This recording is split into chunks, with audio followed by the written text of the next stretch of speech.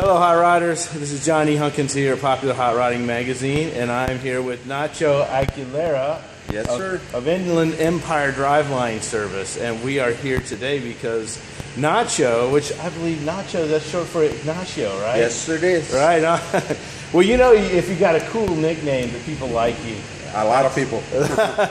So we're here with Nacho to uh, measure the 1968 Plymouth Valiant for a drive shaft, and we're basically going to show you how Inland Empire goes about measuring for a drive shaft, and so that if you need a drive shaft, you will be able to measure it properly and give the measurements to them, and they'll send you a drive shaft. Now, if you live in the Southern California area, Inland Empire will actually come to your location to measure you. Is that right, Nacho? That's part of our deal, yes.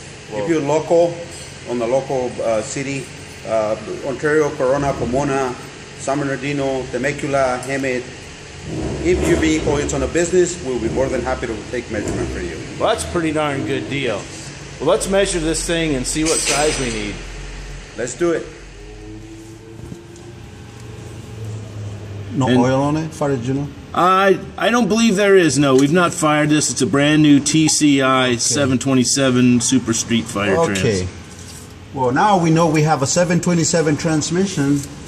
The measurement that you require for a driveline, it'll be from the end of the output shaft coming out of your transmission to the face of your pinion yoke. When I say face, you look up your pinion yoke to one of the uh, uh, ball holes. And you'll notice how he's measuring right to the flat surface. Is that right, Nacho? Off the pinion yoke, yes, sir. Right on. And whatever number you get from there, that's all I need. Couldn't be any simpler. Very simple. Now, we need to find out how much output shaft you have at the end of your transmission. From the end of the seal to the end of the output shaft. Right, and that looks like it's sticking out about what an One inch, inch and a one quarter. Inch and a quarter. Now, if you don't know what size pinion yoke you have, you're probably going to need to measure it. And you measure it from inside the tap to inside the tap on this particular application. And we have three and five eighths. On your application, whatever you have on the me- uh, between the taps, that's what I need to know. I need to know the bearing cap diameter, which in this case we have inch and three sixteenths, Inch and three sixteenths. And Yes. Three and three eighths wide. three and five eighths Three and five wide. eighths wide. Yeah. Uh, if you don't know what kind of pinion yoke you have, that's the best thing to do. You measure it.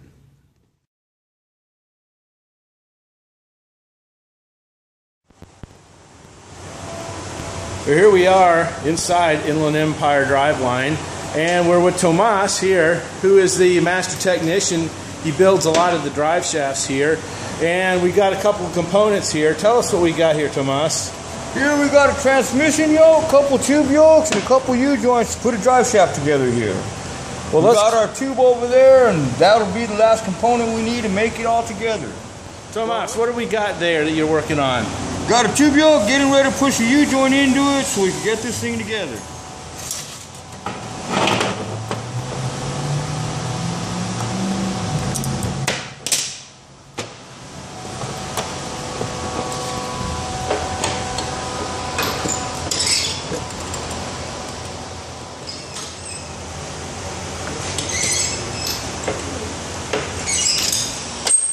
So, what's this thing made out of? This thing it looks like it's uh, kind of colored uh, bronze. Uh, it's a black oxidized coating that we played them with to help keep them from rusting out.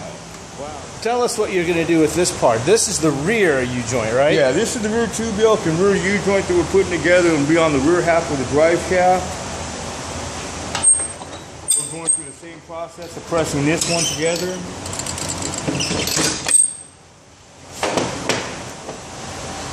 This guy works fast. You can tell he makes a lot of money for Inland Empire drive shafts.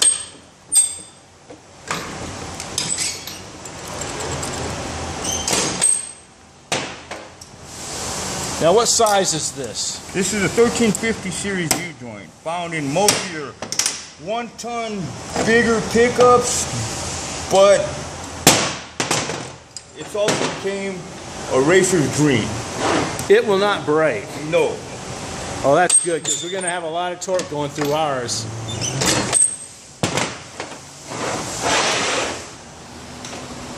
Now, when Tomas was assembling these U-joints, I kept noticing that he was uh, grabbing grease from this bucket right here. Looks like uh, EP Super Premium grease.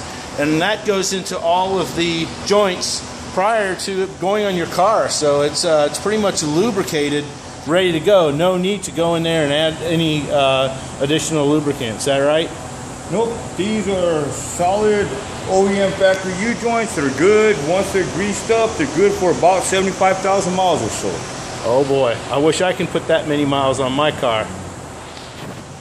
Well, you guys might remember the other day when Nacho came out to Outlaw Motorsports and measured our drive shaft for today's assembly. This is the invoice, the order card that uh, Tomas is going to use. It tells him all the information he needs to make the right length drive shaft. What are we going to do next here? We're gonna measure out the parts I have to get me the dimension I need. So.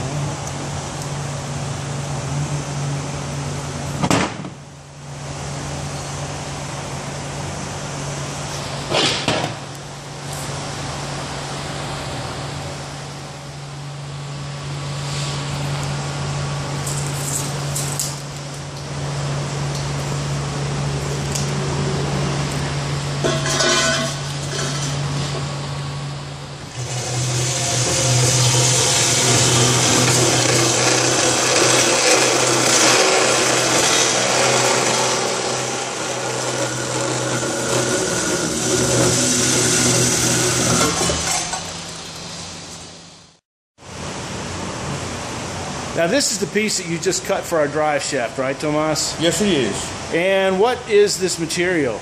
It's DOM mild steel. And what kind of diameter is this? This is three inch diameter with a wall thickness of 083. Okay, now we're putting it in the machine. We're gonna flash it and get all the burrs and square it up.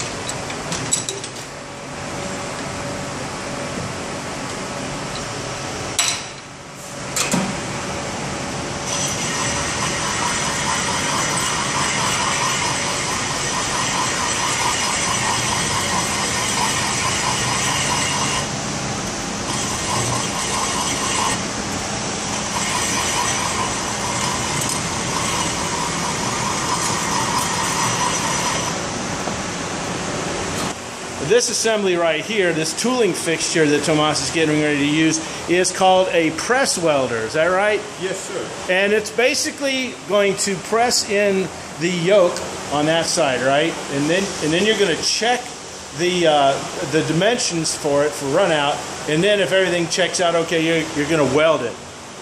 Yes, I am. Great. Let's uh, get started on this thing. Okay, here we go.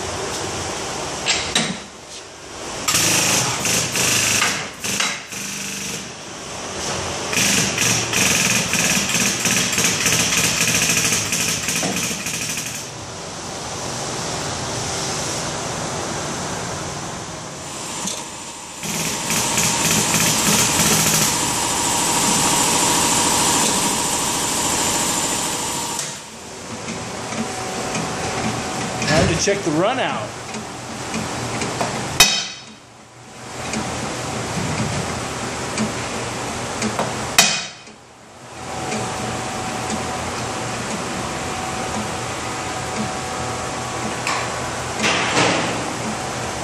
Now, what do you like to see run out wise? What's like the maximum variation that you'll allow? On a brand new shaft that we're putting together, we don't like to see no more than about five thousandths at the ends of the weld. What about in the middle of the shaft? Do you check that? We check the middle, we don't like to see no more than about 10. But this is also tubing, and tubing doesn't seem to ever be true. All you can ask for is to get it as close as it can get.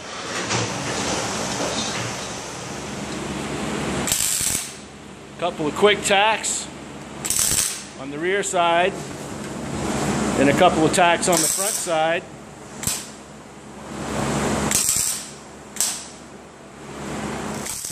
And check out the cool fixture that uses, the welder is actually stationary and he's rotating the drive shaft with his hand and the welder is running on its own.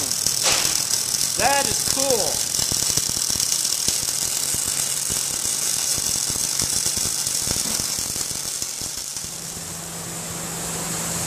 Now it's time to cool off the welds.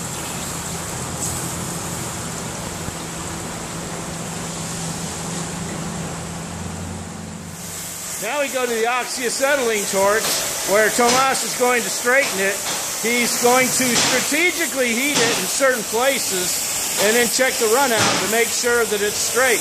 Because after you weld, uh, it does deform the metal and does uh, potato chip a little bit. So he's checking it, and he knows exactly where to apply the heat so that it'll go back into shape again. And notice how he just heated that up, and he's putting some water on it strategically. And then he'll check it again with the run out, make sure that it's just the way he wants it. Now our drive shaft goes from the welding fixture to the balancing machine. This thing is huge and um, we're going to check out how it works right now.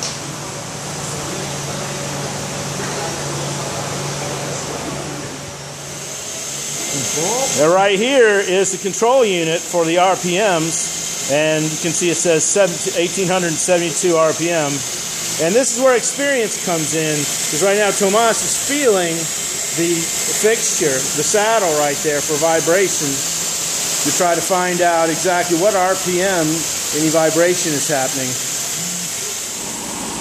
But this is a very interesting part of the balance machine. You've got numbers in there, and then you've got some sort of feeler indicator there. Uh, go ahead and crank that up, Tomas, and show people what you're looking at.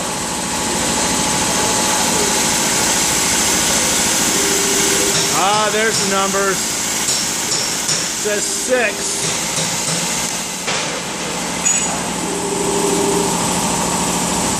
So when you go to six, you index it on six, and that tells you to put some weight there.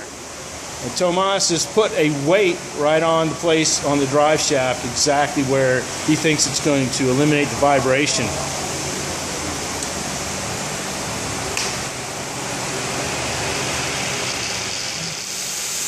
Now the drive shaft is running in the balancer, and Tomas tells me that when that vibration on that dial indicator stops moving around, he's gotten rid of the vibration. So, you know, it's still bouncing around a little bit, but he's getting closer and closer to the right balance.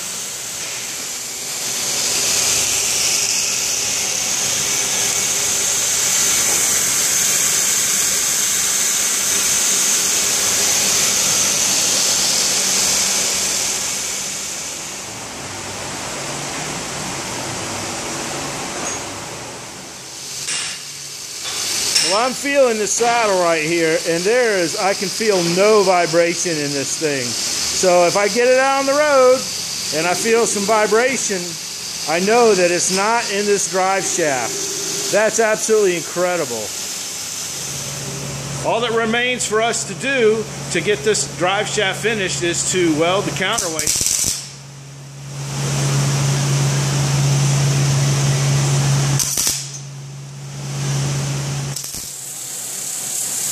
And the last finishing touch is just a little bit of emery cloth. Give it a nice sheen. This is kind of a trademark treatment that Inland Empire does on their drive shafts. Sometimes they paint them, other times they leave them bare, really depends. Since we're transporting ours in a car, we're not going to get ours painted until later. Well, that's how they make drive shafts here at Inland Empire Driveline. Uh, drive shaft like this with the three, three inch diameter DOM mild steel tubing, about 430 bucks. And I think that you'll all agree that it's well worth it after having seen what they go through to build them.